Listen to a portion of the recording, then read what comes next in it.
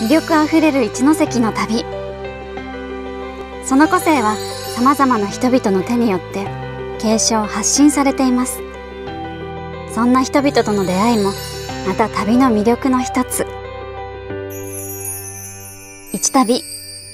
今を紡ぐ人。一関には古くから地域に根付き長く受け継がれた伝統の技がいくつもあります。一関市の伝統工芸品秀平塗今回は創業100年を超える秀平塗工房丸三漆器をご紹介します。こんにちは。こんにちは。いらっしゃいませ。今日はよろしくお願いします。秀平塗欧州平泉を治めていた藤原の秀衡が京より招いた職人に地元原産の漆と金をふんだんに使った器を作らせたのが起源。秀平塗ってどのような器なんですか？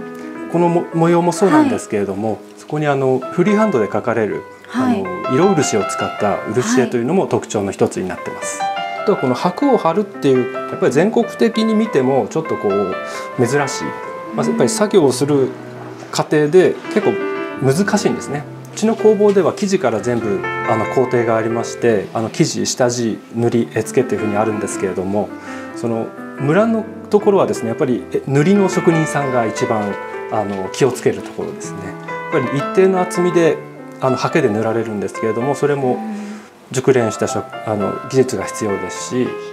うちではあの伝統工芸士という職人あの資格を持った職人さんがあの作業をしてます。こちらも秀平塗りなんですか？秀平湾というお椀をですね、あの色を変えて作った商品になります。すごい可愛い色ですね。ありがとうございます。秀平塗りっていうのはこう模様がたくさん入っていて、やっぱりあの普段には使いづらいという方がとても多くてですね、開発したのがこの普段っていうシリーズで、こういうまあ木目の商品ですね。まあ吹き漆って言って塗りがほとんどこう剥離しないです。塗りが取れずにずっと使えるので、まあ、普段使いにはとてもおすすめな。すごいですね。艶が中の。そうですね。外が、あの艶消しで中がこう艶をちょっと出して吹き漆って言ってこう漆を塗って拭き取るんですけれども、はい、外は布で拭き取って中はこう紙で拭き取る、まあ、拭き取る素材が違うだけでこんなに、えー、差が出るんですね。でロゴマークがこういう、まあ、T シャツのやっぱり漆器もこういう、まあ普段着の T シャツみたいにあ普段使いに使ってほしいという思いが込められてます。やっぱりあの秀平塗りはあの岩手県のやっぱり伝統的なものですんで、はい、まあ、これをずっと未来につなげていきたいなと思いますし、うん、やっぱりつなげるだけではなくてやっぱり新しいあのこのようなカラフルな漆器であるとか、はい、あのグラスに漆をで加工したものですとか、まあ、現代のユーザーの方に、はい、あの使っていただけるような漆器を作っていきたいなと思います。秀平塗工房鳴山漆器。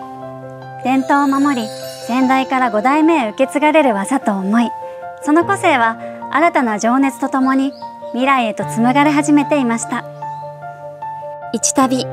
今を紡ぐ人。伝統工芸品に触れながらこんな一ノ関の旅もいかがですか？